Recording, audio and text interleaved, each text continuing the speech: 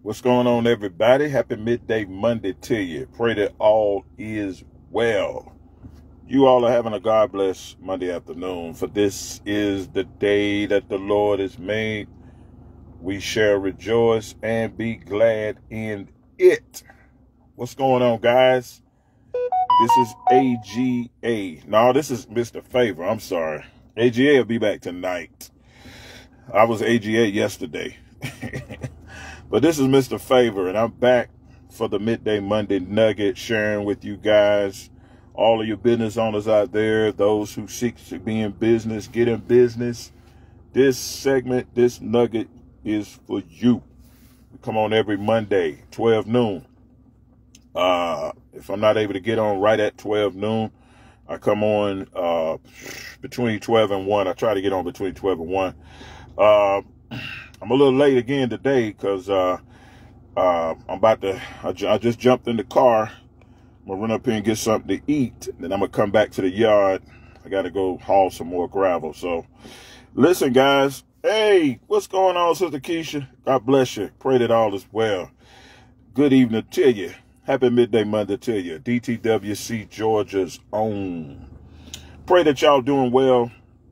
Hey guys, let's continue to pray for all of the states that was hit by hurricane uh what's her name? The hurricane. Um lord jesus my mind went blank. I know the name of the hurricane but i just can't remember. But anyway y'all know the hurricane that came through on last week. So many places are flooded out. People have lost their homes. They've lost their uh, valuables and um, People don't have clothes. They don't have food. So let's let's let's come together, guys. Let's um, if you you are blessed to have extra and you are able to be a blessing. Thank you, Sister Keisha. I'm doing absolutely well. Doing absolutely well. Um, but uh, um, let's continue to pray for all of the families and let's uh, come together um, and, and, and gather some things. Uh, one of the things that uh, that I shared with our church on yesterday is that uh, God has tremendously blessed us. So let's let's be a blessing to if you know people who may be in your area that you may uh, uh, be able to help them and to assist them in this time of recovery. So much was lost. A lot of cities and towns and areas was flooded out. That's going to be major, major cleanup. Um, it's going to be a lot going on. And so uh, let's continue to pray and let's pray for all of the families that have lost loved ones.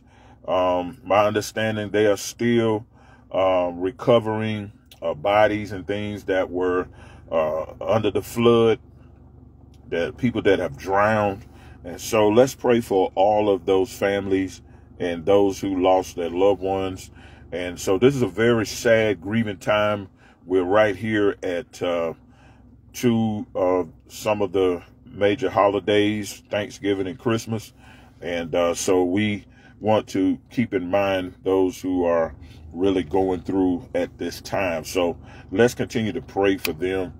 And uh, a lot of churches and houses and homes, schools, all kinds of things was impacted. Whole whole towns. I mean, whole communities, neighborhoods. So let's let's let's really really be in prayer for uh, uh, all of them. And, and like I said, whatever you can do financially, whatever you can do as far as clothes and, and, and food and all of that, you know, do do what you can and, and, and be a blessing to to so many people. All right, guys. I know you guys have a heart for that. I know that uh, um, in, in, even in disastrous times and, and, and in difficult uh, times and days, um, we, we, we can come together and, and we can, we can, um, be a blessing to whoever is in need. All right. And God blesses us to be a blessing. So if God has blessed you and you are able to help, um, please don't shut up your bowels of compassion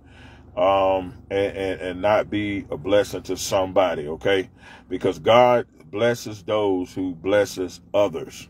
God blesses those who blesses others. Uh, those who are in business, um, what kind of business you have, um, uh, whatever your field is, whatever your uh, expertise is, you know, um, let that be an opportunity from your business, uh, your ministry, or whatever. Whatever, give back and help and support the in the recovery process of so many people who have lost uh, uh, things and and, and uh, uh, I mean just lost loved ones. I mean that's that's that's that's this is a time that that has been a great loss, great loss. And if you um, did not uh, experience any uh, power outages or uh, any experiences as it relates to damage to your home or your automobiles or whatever the case may be, to God be the glory. That's a blessing. But consider those who uh, did suffer and uh, is is is going through a process of recovery, and uh, so let's let's let's keep let's keep that in mind as well. So uh, look at Gregory. uh, so so uh, so let's keep that in mind as well. So that's what it's all about, guys. That's what it's all about. So as a ministry, uh, DTWC, um, we're we're going to do uh, what we can as far as helping others and favor trucking as well. Um, so we're gonna we're gonna we're gonna come together, uh, DTWC favor trucking. Uh, we're gonna come together and um, and, and be a blessing, be a blessing. So that's what it's all about, and that's why I believe that that that's why DTWC and favor trucking is so blessed because we practice the uh, we practice the uh, uh, the, the, the system and the, and the principle of giving. All right. Given it shall be given unto you. Good measure, pressed down, shaken together, running over shall he calls men to give unto your bosom. All right. So that's how you get blessed, guys. That's how you get blessed. Um, so let's let's keep all of the families and all of the communities and neighborhoods in different states in our, our prayers and whatever you could do to help and to assist. If you know someone in your area, if you know someone uh, that you you can contact, be a blessing to them. Okay. All right, guys. Now I want to talk about the um, nugget of the day. Uh, so I want to say to all business owners, y'all continue to keep doing what you're doing. Um, what's going on? Hey, Tanika, what's happening? God bless you. Pray that all is well. Happy midday Monday to you. God bless you and your family on this Monday afternoon. It's good to see you. It's always good to see you. Um, and uh, so let's let's do that and, and, and let's continue to um, um, um, go forth and be successful. And most important than that, prosper in what you do. Okay. So I want to say to all business owners, thank you, Sister Tanika. Thank you, thank you, thank you. Uh, I want to say to all business owners, as we know, you know, I hear a lot of talk about the election and all of that, what's going on, and everybody's kind of concerned about the election and how things are going to turn out. But I just say to each and every one, um, just manage, manage, manage your money well. um, don't do any unnecessary spending. You know, uh, save. Um, kind of keep your costs down, um, that kind of that sort of thing, and uh, just just just keep operating, keep working, uh, just just stay focused on what you're doing. I wouldn't I wouldn't allow myself to get distracted by the election. I wouldn't allow myself to get distracted by all of the politics that's going on, um, especially if you are a Christian business. We operate from a different system. We are in the kingdom of God. So God is going to take care of us. He's going to provide for us. All right. And it is also a good time for us to be a witness, to be an example to other businesses who may not be in the kingdom. So we can be a witness and a light to them and, and be an example to them to show them how God, God takes care of his own and he provides for us and he sustains us and he takes us through all of the difficult times. We've been through difficult times before. If you have been in business uh, and with in, in any length of time, you've been through some rough seasons. You've been through some hard times. You've been eh, you've been through seasons where you had to go through the ups and the downs, where it was slow, where it was fast paced, where you had some good months and you had some slow months. We've been here before. We've been here before. And the same God that brought us through then is the same God that's able to bring us through now. All right. So I wouldn't, I wouldn't get caught up in everything. Excuse me. I wouldn't, I wouldn't, I wouldn't allow myself to be in a panic. I wouldn't allow fear to come in and, and to, to rest upon your mind and get you all stressed out and get you, you know, all frustrated. No, you know what I'm saying? Keep working, keep working, keep pushing, keep pushing, keep putting that time in, keep making those investments because what you sow, you shall reap. Okay. What you sow, you shall reap. And so you have to prepare. You have to keep on as you work, prepare. Put something to the side. It don't have to be something large, but if you are consistent in saving something that's small, eventually it will increase. It will multiply. And the more you add to it, the more it grows.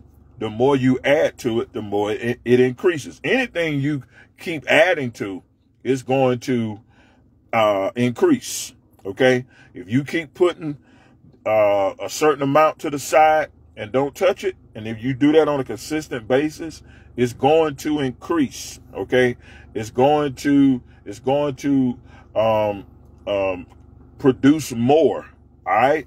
So you, you don't have to necessarily have something big in order to create something big. Big comes out of small. Okay. You just being consistent and adding to that which started out small and because you was consistent in adding to that which was small, now it has grown to something big. See, everything that is big, it started out small. Man, I don't care what y'all say. This is good. it started out small. You don't have to be in a hurry to get to big. Big is the result of small if you continue to add to that which started out small. It's going to get big. Big is the end result. If you continue and you be consistent and you dedicate yourself and you be committed and you be faithful in that thing, it's going to become big. Okay. That's how you see big is the manifestation of small. Okay. All of us was born and when we were born, we was born a baby. Okay. We were small. But as time went on and as we continue to grow and grow up, we have become adults. So we are no longer in the small stage. We have be, we have become big. So now we are bigger. We are bigger, but we started out small. We are adults. We are men and women, but we started out as babes. You see, you see what I'm saying? So everything that you see big, it started out small. I mean, you can you can size that to whatever. You know what I'm saying? Something that started out with a few people now is hundreds upon thousands of people. But it didn't start that way. It started out small. Okay. So don't despise, despise not the day of small things. Despise not the day of small beginnings. All right for the end thereof will be great. That's that's that's the Bible. Uh uh Zechariah 4 and 12. You understand what I'm saying? so despise not the day of small beginnings, for the end thereof is great. So don't despise small beginnings. Something may look small, but don't despise it. Don't underestimate it. A seed, a mustard seed. A mustard seed is small, but it, it can grow into one of the largest trees in the world. Okay. So that's why the Bible says if you got faith the size of a mustard seed. So he puts that in comparison to a mustard seed that if you have faith the size of a mustard seed, you could do great things. Okay. So don't underestimate something because it's small. Good evening to you Mother, uh, Mother Leota Kids. God bless you, Mother. What's going on? Happy midday Mother, to you. Amen. We had a good time yesterday at the fellowship. But, uh, So don't despise small beginnings, guys. And it may it may not look like much, but see, it's not how it looks to other people.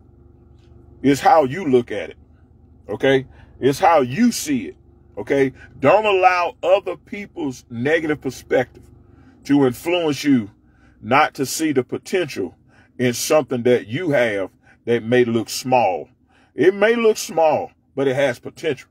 It may look small, but it has the ability to become what you need in life. Okay. So don't allow other people's negative perspectives, what other people's opinions are. See, I don't allow what other people think, other people's opinions of what I do or the direction I go or why did he do that? Why is he doing that? See, I don't allow that because I stay focused on the plan and the vision that God has given me. Okay. And I stay focused on that and I work it, right? Because people are not able, especially if they're not visionaries. You can't expect sight people to understand vision.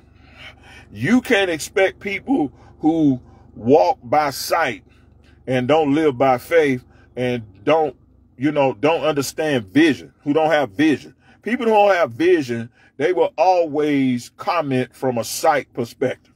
Okay. Because seeing is believing. They got whatever they see now, that's what they think it's going to be. Okay. But when you're a visionary, you can take something that somebody else can speak negative about and, and look at it and say, oh man, that ain't nothing. But when you're a visionary, you'll look at that and say, wow, you can do this with this. You can do this with this. You can, I can do this with this. I can do this with that. And so what other people walk by and, you know what I'm saying? and don't give no attention to, I can sit there and be like, wow, because I'm a visionary. And I can sit down, you know what? I can take that and do this and do this and do this and do this and save this and this and this. Y'all listen that. And I can, I can be, I, I'm able to put away this, this, and this, and still get this, this, this done with this. Okay. And it, and it looks small and it looks small but you could do great things. so you could take something small and do great things. Okay. Don't always correlate great things with great, with great people or, or shall I say, eh, that, that's two different definitions of that. Okay. You could take, you could take a little bit and do great things. So don't always think that because you see the outcome, it had to come from some big, great great place or some well-known popular individual. God could take somebody that doesn't have popularity, but they have vision. Good evening to you, Sister Chella Nelson. What's going on? God bless you. Happy midday Monday to you. Pray that all is well.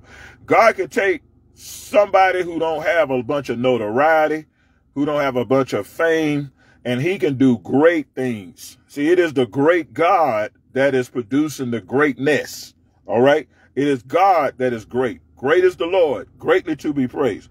Greater is he that is in us than he that's in the world. It is him that is great. Okay. It is him that does the great things, the greater. Okay. Greater comes out of a great God. So all he needs is somebody who is willing to trust him and who is willing to believe in what he says and who is willing to carry out what he commands them to do. Okay. That's all he needs. He needs vessels. He needs vessels. He has put treasure in earthen vessels that the excellency may be of God and not of us. Okay. We are the vessel.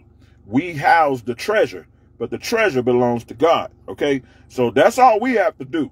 We just have to yield. We have to obey and don't give in to the negativity of sight people. Okay. Sight people can never understand what visionary people do.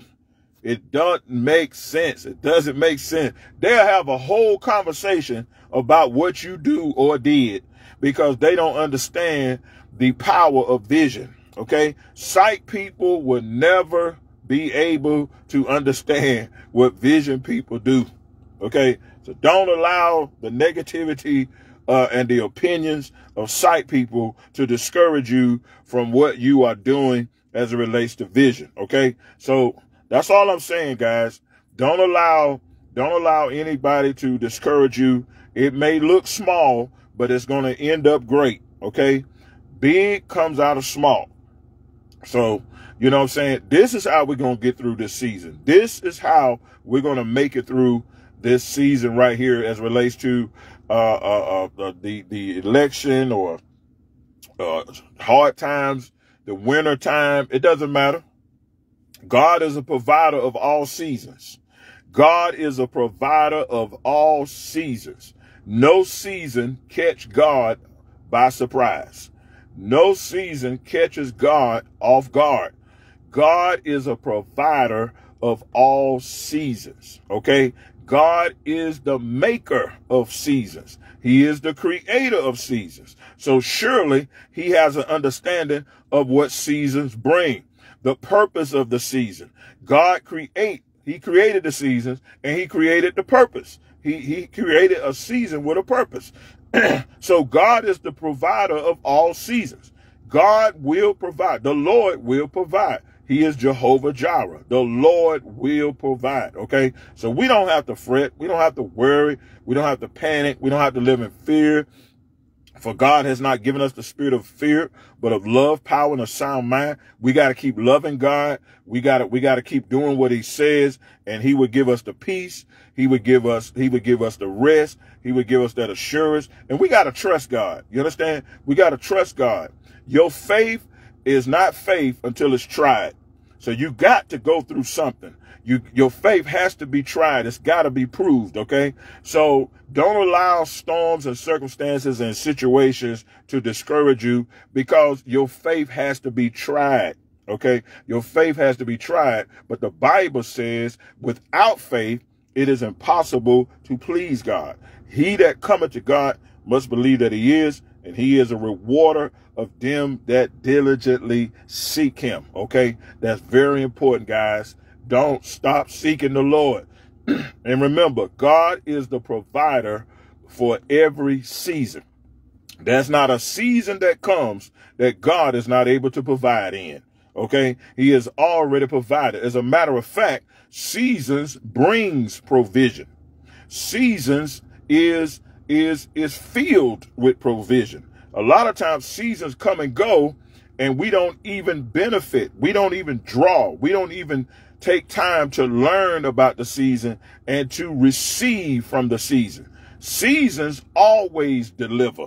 Seasons always is full of provision and, and revelation and instruction and direction. But a lot of times we don't stop long enough and we don't settle ourselves long enough in order to seek the Lord to find out what is it that is in this season that I need to get out of this season? Okay. And, and what is it that I need? And the reason why I'm in this season, what is it that this season has that I need so that I can go into the next season prepared? I can go into the next season equipped.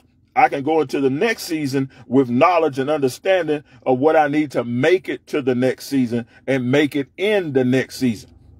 It's not enough to just make it to the next season, but you got to be able to make it in the season. Uh, uh, whatever season it is. You got to be able to maintain. You got to be able to function. You got to be able to produce. Are you producing in every season? We are supposed to be producing in every season. We are supposed to be uh, maintaining in every season. We are supposed to be uh, uh, uh, giving, and we are supposed to be to be to be sharing, and we are supposed to be uh, helping. Uh, uh, not always in need of help, but who are you helping in every season? Who are you being a blessing to in every season? Who are you praying for in every season? All right. So not just getting, but what are you giving in every season? Because every season is filled with provision. God is the God that provides for every season. All right. So that's all I'm trying to tell you, ladies and gentlemen. So uh, I pray that um, you all got some out of this nugget. I gotta get I gotta get uh, get back. Uh, I'm on my way. I'm leaving the yard. Uh, I had to bring the truck back. I'm going to get me a bite to eat, and then I'm coming. I'm coming back. Get back in the truck, and gotta go haul some more rock. But y'all pray for the boy.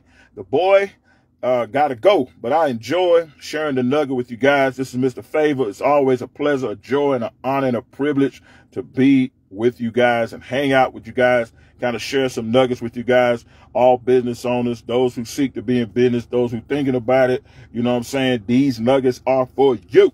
If you need encouragement, this nugget is for you. Whatever you're going through, this nugget is for you. So whether you're going through in life, whether you're going through uh, in ministry, whether you're going through in business, makes no difference. You can use these principles and you can be blessed by these nuggets. All right. Good evening to everybody that's coming in. God bless you. If you didn't get a chance to check out the beginning of the video, please go back and watch it. But the boy got to get up out of here so I can finish the rest of my day so that I can be ready to serve you all tonight, 7 p.m. Meet me back here tonight, 7 p.m. with AG8. We talking about dealing with the issues in the music ministry, and we've been having a great, great, great, great time. People have been blessed. A lot of things are transpiring, and so we are we are giving God glory. Back to the Bible family and all the friends and all the supporters, those who share the videos, those who comment, those who like, all that you do, it does not go unnoticed. Greatly appreciated. You hear me? So continue to pray for one another. Love ye one another. All right. Spread that love abroad and let God bless you real, real good. This is Mr. Favor. I'm out of here. Peace.